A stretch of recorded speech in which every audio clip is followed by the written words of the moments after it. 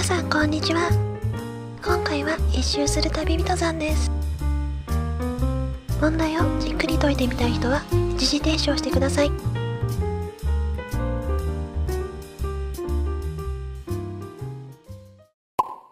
速さの問題です。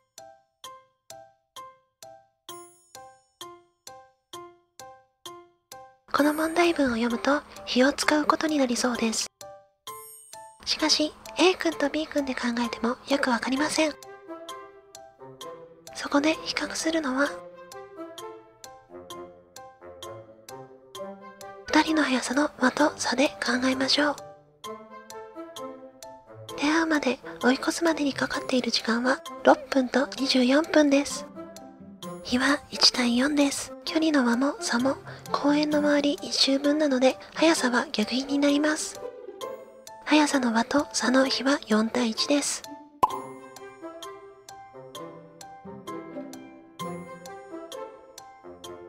和と差が分かっているので和差算で計算しましょう。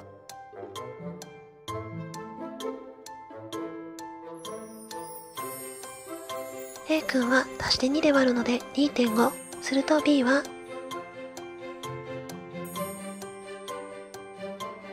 ？1.5です。したがって。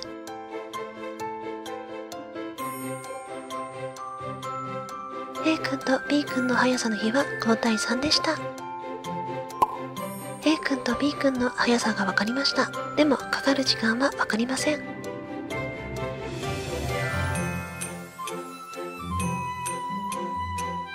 そこで速さの差と B 君で比較します。ちなみに速さの和と比較しても計算できます。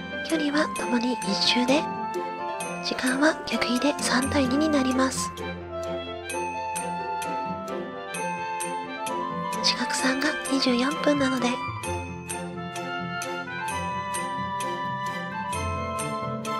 B 君は四角2で16分でした」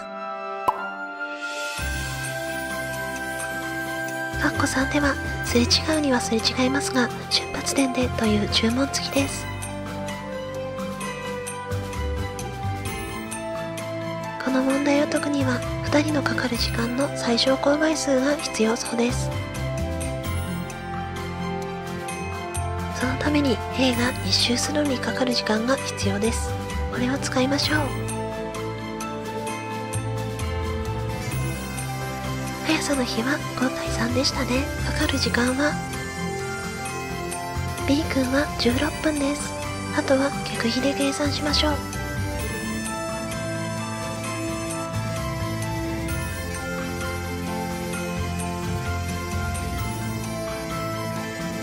は1周するのに9.6分かかります。では9.6と16の最小公倍数を考えていきましょう。小数じゃわからないときは整数の96と160で考えていきましょう。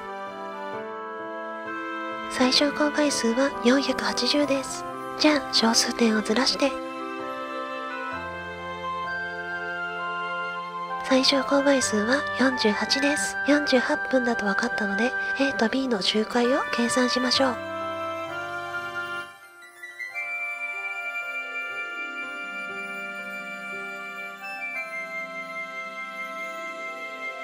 A は5周、B は3周でした。今回の動画はここまでです。ご視聴いただきありがとうございました。チャンネル登録、高評価よろしくお願いします。